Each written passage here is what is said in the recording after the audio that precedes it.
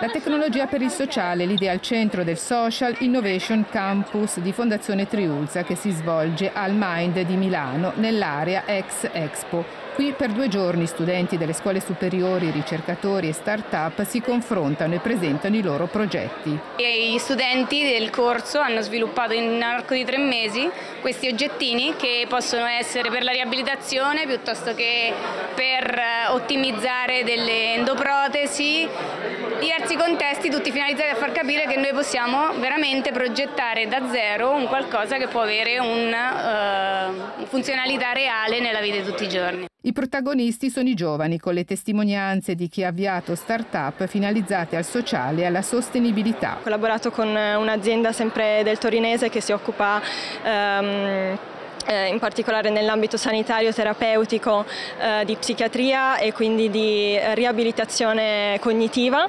e quindi appunto gli utenti in questo caso sono pazienti diciamo, con problematiche appunto psicocognitive che eh, devono, cioè, sono seguiti in percorsi di riabilitazione. Agli studenti è lanciata la sfida, lo sviluppo di un progetto tecnologico che tenga conto dell'impatto sociale e sostenibile. Questo sia uno degli ambiti più importanti che appunto in questo momento dobbiamo affrontare soprattutto perché siamo ragazzi giovani e dobbiamo diciamo, dare una spinta, dare, iniziare a capire che possiamo anche noi dare l'esempio e cambiare qualcosa.